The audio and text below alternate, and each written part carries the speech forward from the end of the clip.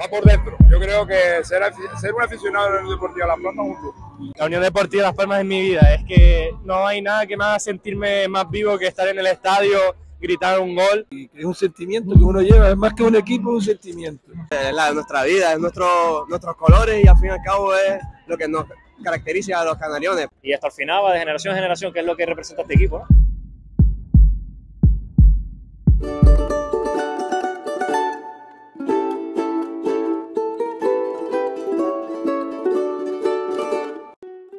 Abonado desde que nació. Él nació y el primer día, bueno, el primer día no, cuando se abrió el proceso de abonado, lo abonamos y desde entonces hasta el día de hoy. Mi abuelo me trajo a mí y su abuelo pues lo trae a él. Pues nada, mi familia jugó mi padre en la Unión Deportiva Las Palmas en el año 1949. Mi tío era Antonio Jorge y mi padre era Ignacio Jorge, por eso lo llevamos aquí. Muchas veces que vine al campo de fútbol con mi padre, sobre todo cuando estaba el otro estadio abajo, el Estadio Insular. Yo nací el mismo año que la Unión Deportiva Las Palmas. Es la primera vez que viene al fútbol. Llevo socio hace 40 años, ¿qué más quieres? Cuando yo era bastante joven me acuerdo que Las Palmas participó en la Copa de Ferias, creo que se llamaba, y entonces en el partido de ida jugaron contra el Torino y nos ganaron 2 a 0. Dice, y la vuelta fuimos todos ahí un poco desesperadillos con el resultado y ganó Las Palmas 4 a 0. Eso fue una de las mayores alegrías que he visto yo. Los recuerdos que tengo es, es la, la, el, la gente del, del, pueblo escuchando los partidos de Las Palmas por la radio. Narciso se queda solo, tira, ¡gol! Atrás para Contreras, puede chutar, chuta, ¡gol! Juani se va para Lares, se mete dentro, atención, regatea, deja para, para Chinea que tira y gol. También la, la etapa de los argentinos de la época, la época dorada con, con Brindisi, Carnevali, Quique Wall, Morete, una época muy bonita y jugamos la final de Copa de, con él. Pues que Brindisi se echó un partidazo y marcó un golazo.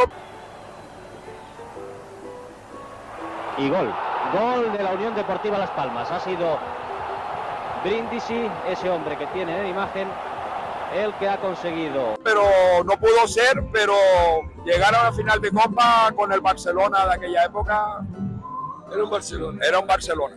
Sí, el ascenso de Pacuco marcó mucho la historia de nuestro equipo. Tú lo sabías que yo lo iba a conseguir. Se va de su marcador. Va a tirar. ¡Gol! ¡Gol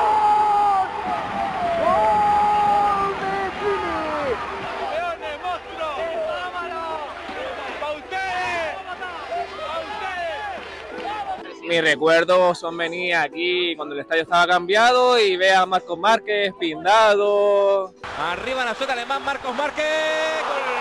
La Palma está en segunda, Julio. Gol, gol, la Palma está en segunda.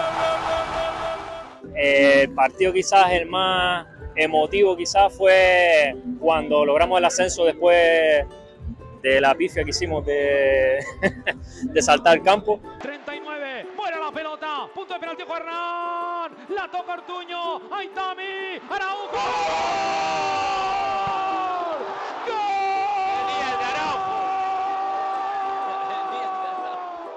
que bueno, ese partido mi abuelo no pudo venir, lo primero que me acordé fue de él y lo primero que hice fue coger el teléfono y celebrarlo con él, el, ascenso. O sea que ese ha sido más especial de todo.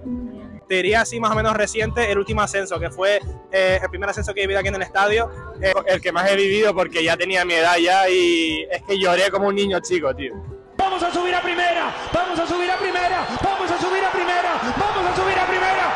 ¡Estamos de primera! ¡Somos de primera! ¡Las Palmas es nuevo equipo de primera división! Un sentimiento que es eh, eh, no es comparable. El amor hacia unos colores. Y sigue siendo una suerte muy grande disfrutar.